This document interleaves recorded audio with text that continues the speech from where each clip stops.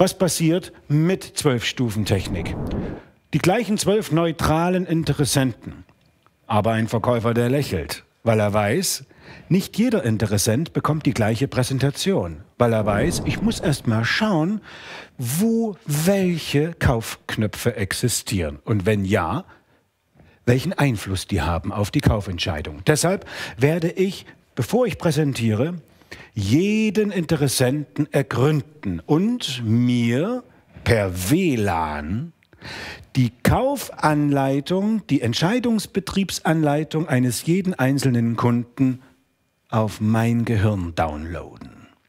Dann kann ich beurteilen, wem ich es wie verkaufe oder präsentiere. Das hat zur Folge, dass ich logischerweise, und zwar nicht, weil du jetzt so wunderbar als Gesamtkunstwerk in Erscheinung getreten bist, sondern weil der logische Effekt auf Kundenseite der ist, dass er jetzt feststellt, boah, du hast die Lösung, du erinnerst dich, weil du mich gedanklich durch meine Sehnsüchte, durch meine Bedürfnisse geführt hast, kommen auch viel mehr Kunden zu dem Entschluss, das werdet ihr gleich noch feststellen, ja, ich nehme das, wenn sie es mir genauso präsentieren. Schließlich bekomme ich eine Präsentation, die genau meine Kaufstrategie bedient und nicht der Allgemeinheit. Das bedeutet, wir disqualifizieren drei, bleiben sieben übrig. Sieben sagen Ja, weil sie gemäß dieses Modells nichts anderes erkennen können außer ein logisches Ja. Nicht weil du es herbei manipuliert hast. Das ist deren Ja. Sie spüren das auch. Da ist auch nichts erschwindelt und ertrickst. Das Ja kommt aus tiefster inneren Seele. Ja. Und wir erinnern uns, das sind die zwei in schwarz markierten Pfeile von sieben, die sagen, jawohl, dann buche ich den Staubsauger. Äh, das Coaching, jawohl, dann kaufe ich mir einen Staubsauger. Jawohl, dann schließen wir den Vertrag. Gibt es, erfahrungsgemäß, ja, gibt es auch immer einen Teil, der anschließend doch nicht kauft, weil er a. Einflüssen seiner seiner, seiner Peer Group, also seiner, seiner engen, vertrauten äh, sozialen Gruppe, ausgesetzt ist. Oder weil er B keine Eier hat, Nein zu sagen. Genau, so könnte man es sagen. Oder C, weil er dich belügen möchte. Denn wenn er jetzt offen sagen würde, nein, Peter, Herr Schmidt, wir beauftragen Sie nicht, wir wollten nur mal gucken, gerät er nämlich in die Gefahr, dass du sagst, okay, dann, wenn Sie nur gucken wollen, dann mache ich meine Bücher zu und gehe. Zum Gucken sind wir nicht hier. Ich möchte zumindest wissen, ob ich Erfolg habe, weil meine Zeit ist knapp. Das würde den Kunden nicht gefallen, weil er braucht ein Angebot. Vielleicht, weil er erst mal vergleichen möchte. Vielleicht, weil er dich nur aus, ausboten möchte. Vielleicht, weil ihm langweilig ist. Vielleicht, weil er eine andere Entscheidung, die schon längst getroffen ist, damit rechtfertigen möchte, weil er in deinem Angebot Fehler finden möchte.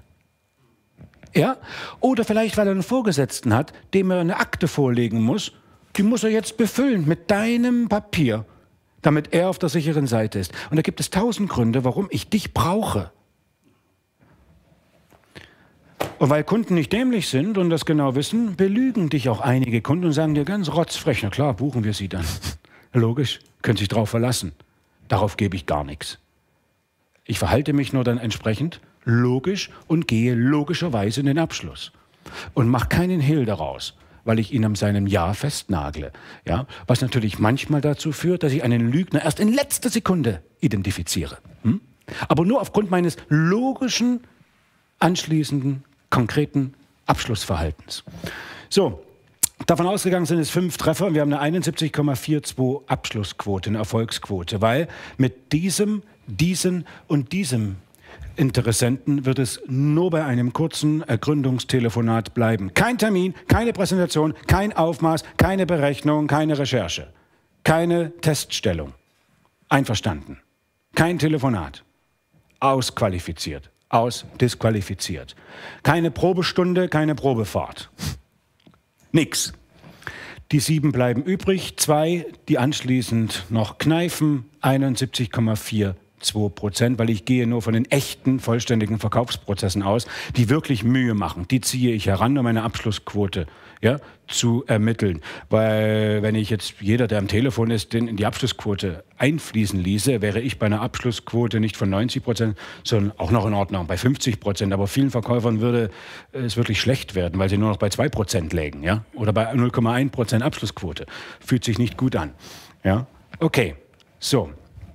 Dann habe ich eine Effizienzsteigerung von 257,10 Prozent. Okay, das müssen wir jetzt nicht weiter ausschmücken. Aber nach diesem Modell ja, ergeben sich solche dramatischen Verbesserungen, weil jeder Kunde nur die Präsentation bekommt, die seine selektive Wahrnehmung auf ein Höchstmaß steigern, weil ich nur das präsentiere, was die Kaufknöpfe betätigt oder bedient. Alles andere wird von mir unterdrückt.